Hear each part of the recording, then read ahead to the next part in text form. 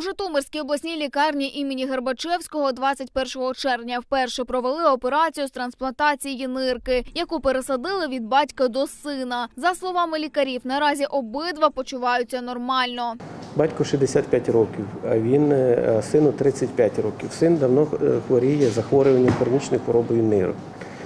І е, лікування консервативного даного такого терапевтичного, як правило, такі пацієнти не піддаються. Тому в нього один варіант був це трансплантація нирки. Операція, е, якщо можна розділити це так, як дві операції. Тобто спочатку був родинний забор е, нирочки, нирки, тому ця операція десь була з 9 години до 11 і десь з пів 12, десь до 3 години е, практично була виконана вже трансплантація нирки. На даний момент пацієнти екстубовані.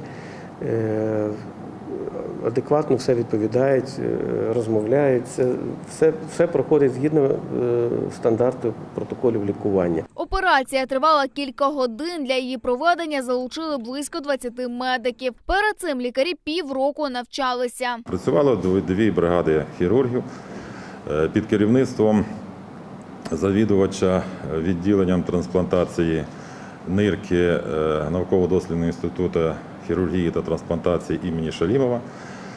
Він керував е, цією операцією, але чесно признаюся, я сам був учасником оперативного втручання.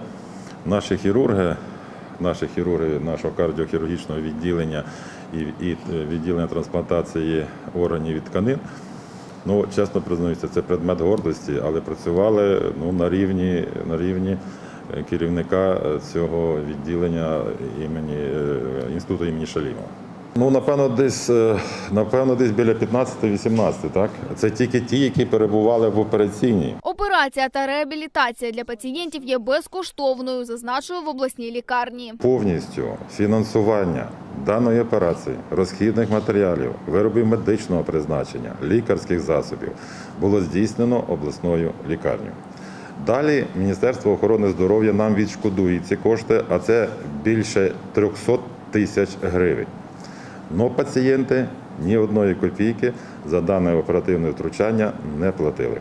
Гарантую, що всі трансплантації, які будуть відбуватися в обласній клінічній лікарні, для пацієнтів будуть відбуватися безкоштовно. За словами директора закладу, на цьому зупинятися не планують. І вже до кінця 2021 року в обласній лікарні хочуть провести операцію з трансплантації серця.